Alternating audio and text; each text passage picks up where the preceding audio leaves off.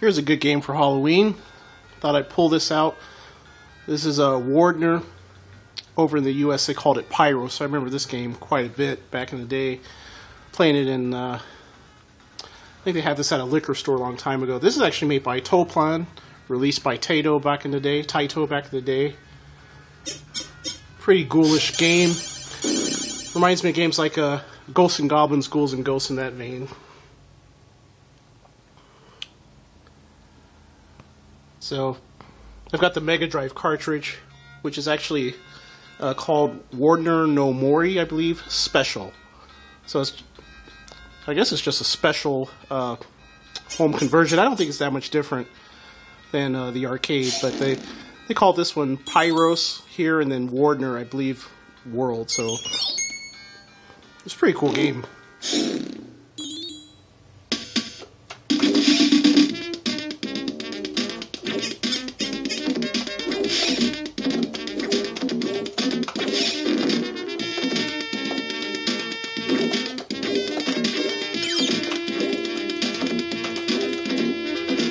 School Pyro's trick. If I could get do it, if I could do it.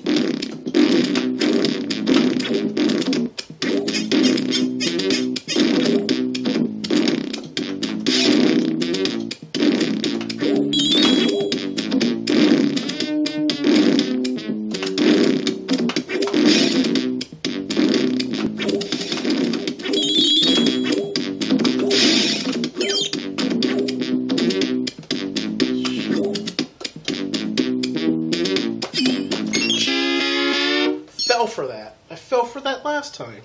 Shit.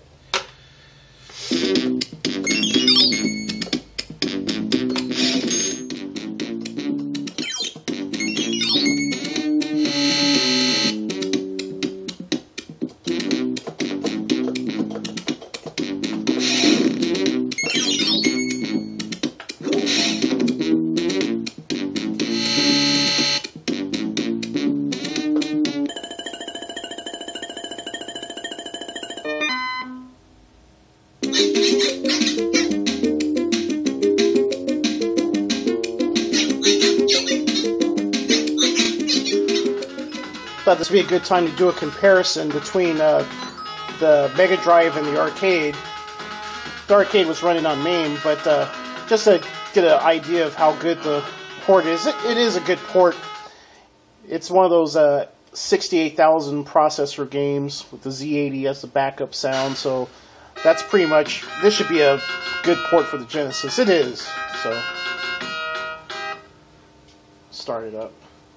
Starts up about the same, except has got a little bit different intro.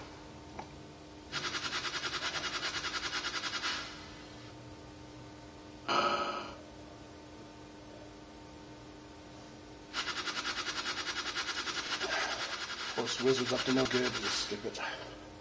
Know your girl gets taken.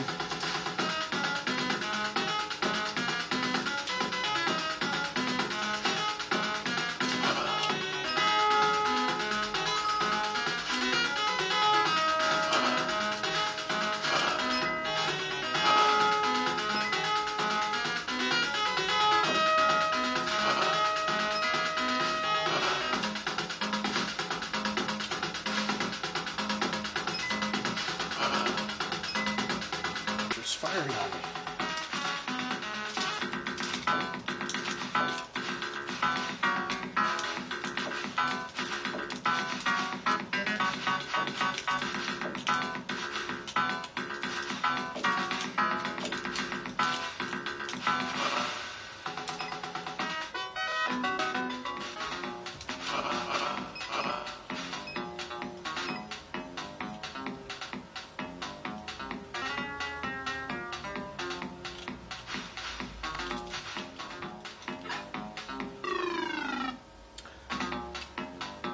The Genesis one is harder than the arcade. It's a lot more tricky. Maybe that's why they call it special, because it's, it's definitely different. The patterns are different, timing is different. I think that's why they call it special.